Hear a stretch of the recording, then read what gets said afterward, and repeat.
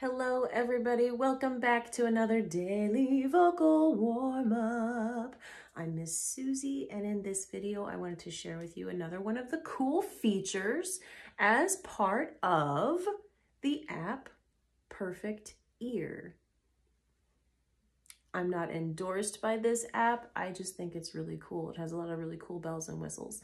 So Perfect Ear what we're doing this time, we're going to the ear training portion of this. So before we were working on rhythm training, now we're working on ear training, okay? So again, you have your all of your theory text that explains what intervals are and how you name an interval.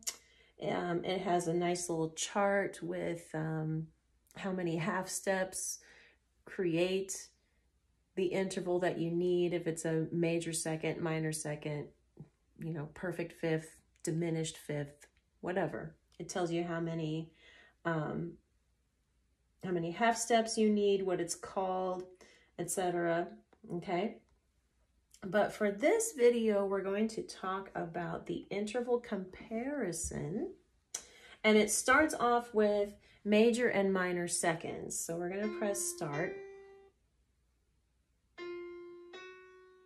So what we're listening for is which interval is larger. All right, so let's listen again. So the first interval was da da.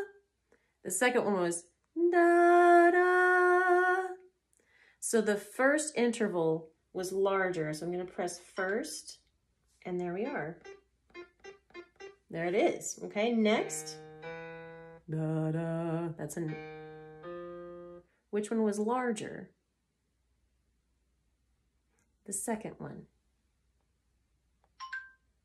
All right, we got it. Okay, next.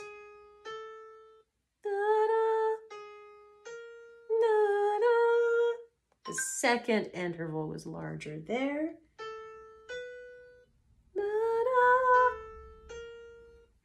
The second interval was smaller. Did you hear how it was like really, really close together? So the first interval was larger.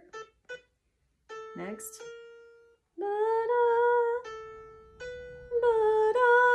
The second interval was larger for sure. So there you go. It keeps on going that way. Um, we have major and minor thirds then.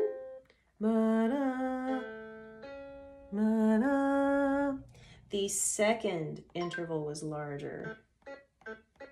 Okay. Ba-bum, bum-bum. Which one was larger? The first one. Okay, so you see how this goes. I really hope that you can use this app to help train your ears and listen for those little tiny disparities between uh, notes and intervals. And thank you for joining me today, and I will see you tomorrow.